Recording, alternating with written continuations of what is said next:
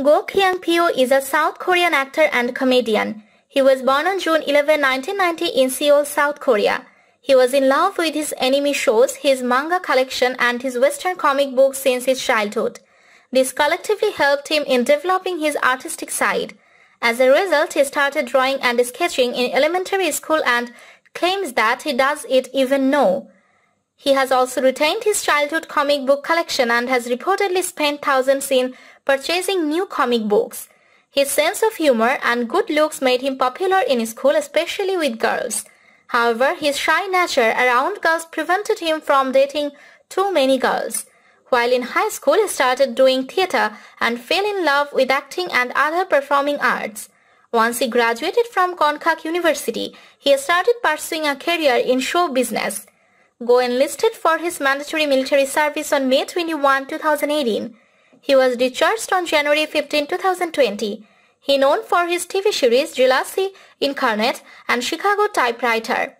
Go Kyung-pyo likes to interact with his fans a lot and watched an episode of his series Jealousy Incarnate with his fans in 2016.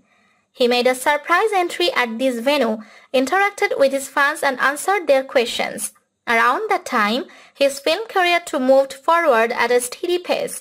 He played a cameo in Casa Amor, exclusive for ladies, and a few lengthy roles in films such as Coin Locker Girl and The Treacherous. He received a nomination at that year's Baeksang Arts Awards for Coin Locker Girl. He also became a part of the popular variety show Infinite Challenge and featured as a cast member of the African edition of the popular South Korean variety show Youth Over Flowers. Park Bo-gum, a fellow actor, has been a good friend of Go since a very long time. They have appeared together on screen many times. Go made his acting debut in 2010 and became a cast member of live sketch comedy show Saturday Night Live Korea for its first three seasons. He worked hard to earn respectable fame and name. His TV career started to flourish as he appeared in the series I Believe in Love and The Operation Proposal. Go gained wider recognition with his roles in Reply 1988 and Don't Dare to Dream. He received the New Star Award at the 2016 SBS Drama Awards for his role in the latter. In 2017, Go starred in TVN's fantasy romance drama Chicago Typewriter alongside You Are ah In and Im Soo-jung.